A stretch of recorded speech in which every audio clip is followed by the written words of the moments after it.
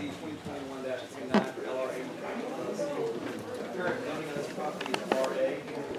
go to R one, also about property at smaller, uh, smaller lot size. Currently three point six acres, so like one. So comprehensive plan consists within a residential area, outside the urban service area, no more than septic. um, here.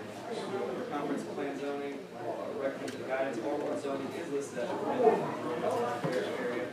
As you noted on previously on the slide, there are R one properties to the north and are to the southeast, not here. You see the property is dry, there are no wetlands on the property. And the current rural area, land use pattern, about the R one zoning, there are smaller lots to the north that are not that.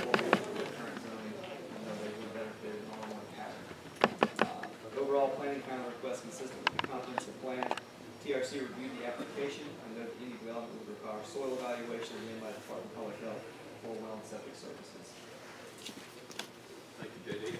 Any commissioners, any questions for staff on this case? There's what? Two lots. Yes, sir. Excuse me. Is is that it? That's about just the subdivision. Did you say in favor of, I didn't hear you. No, not yet, I'm coming to There no, no other questions for staff? All right, then that will open the uh, public hearing portion on this case. Is there anyone here this evening that would like to speak in favor of this case? If so, please come forward. State your name and address for the record. Louis Radney, fifty-seven sixteen Racetrack Road. The reason I want to do that, there's a shop I've had on that property for years. And I decided just to try to cut it in two and keep my shop. And, uh, that would leave the front two acres with a highway frontage and a dirt road frontage on the side. The other lots, nothing will change, the covenants, the restrictions, everything I have in place is, will remain the same for the other, for the rest of the subdivision. There's a well and septic, it'll wind up with the well on one part and septic on the other. But I've had the shop for thirty-five, forty years, and, uh, the replacement cost of it, I thought about it, I just wanna try to hang on to my shop now for a reason, I'm trying to fit it into.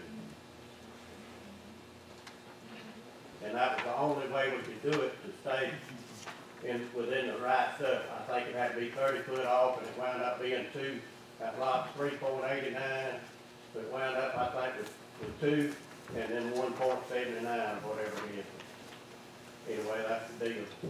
Any questions? Any questions for Mr. Radney? Thank you, sir. Thank you, sir. Is there anyone else here this evening that would like to speak in favor of this request? Anyone that would like to speak against this request here this evening? That closes the public hearing portion on this case. Uh, I will entertain a motion. If there's no further discussion. discussion, motion. Mr. Chairman, Mr. Wallace. Regarding this case REZ twenty twenty-one twenty-nine, uh, to rezone from residential to density residential. Um, This, um, request has been found to be consistent